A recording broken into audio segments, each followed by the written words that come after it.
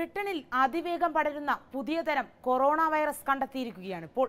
Covid മഹാമാരി പൊട്ടിപ്പുറപ്പെട്ട് ഒരു വർഷം പിന്നിടുമ്പോഴാണ് വൈറസിന്റെ പുതിയ ഇനം ശക്തി പ്രാപിച്ച് പടരുന്നത് ലോകത്ത് വളരെയധികം ആശങ്കയാണ് ഉണ്ടാക്കിക്കൊണ്ടിരിക്കുന്നത്.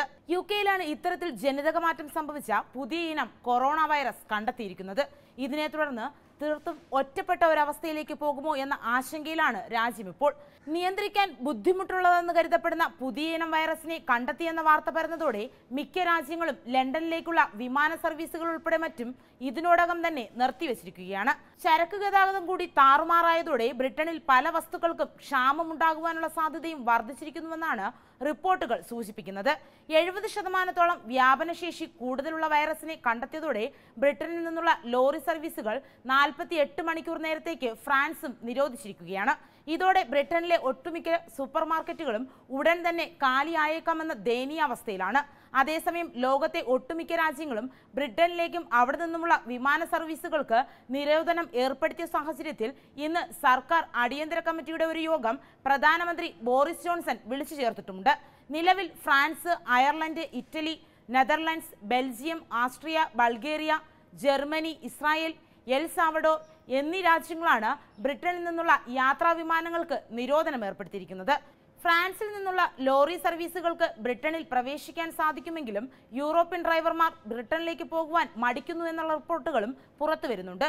പുതിയ കൊറോണയുടെ സാന്നിധ്യം അവരെ ബ്രിട്ടനിലേക്ക് പ്രവേശിക്കുന്നതിൽ നിന്നും തടയുന്നു. ക്രിസ്മസ് കുടുംബത്തോടൊപ്പം ആഘോഷിക്കുവാൻ സാധിച്ചില്ലെങ്കിലോ എന്ന ഭയമാണ് അവരെ പിന്തിരിപ്പിക്കുന്നതെന്നും ഒരു വാദം ഉയർന്നു വരുന്നുണ്ട്. അതേസമയം അമേരിക്കയും ബ്രിട്ടനിലെ പുതിയ സംഭവ വികാസങ്ങൾ സസൂക്ഷ്മം നിരീക്ഷിച്ചു വരികയാണ്. പുതിയ വൈറസിന്റെ കാര്യത്തിൽ ആശങ്കയുണ്ടെങ്കിലും ബ്രിട്ടനിലേക്കുള്ള യാത്രാ നിരോധനത്തെക്കുറിച്ച് ഇപ്പോൾ ആലോചനയില്ല എന്നാണ് അമേരിക്കൻ ഔദ്യോഗിക വൃത്തങ്ങൾ അറിയിച്ചിരിക്കുന്നത്. ഈ പുതിയ ഇനം വൈറസ് അമേരിക്കയിൽ പ്രവേശിച്ചുവോ എന്ന കാര്യത്തിലും അന്വേഷണം നടക്കുന്നുണ്ട്.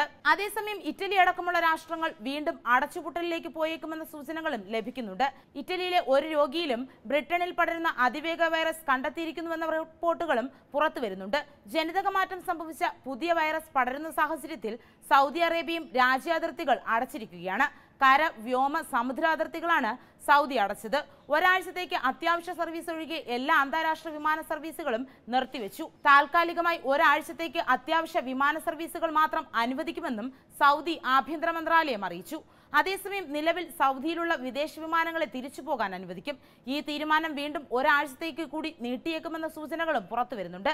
എന്നാൽ ഇന്ത്യയിലും ഇത് സംബന്ധിച്ച് ആരോഗ്യ മന്ത്രാലയം ചർച്ചകൾ നടത്തിക്കൊണ്ടിരിക്കുകയാണ്. നിലവിലെ സാഹചര്യവും നിയന്ത്രണങ്ങളും യോഗത്തിൽ വിലയിരുത്തിയിട്ടുണ്ട്.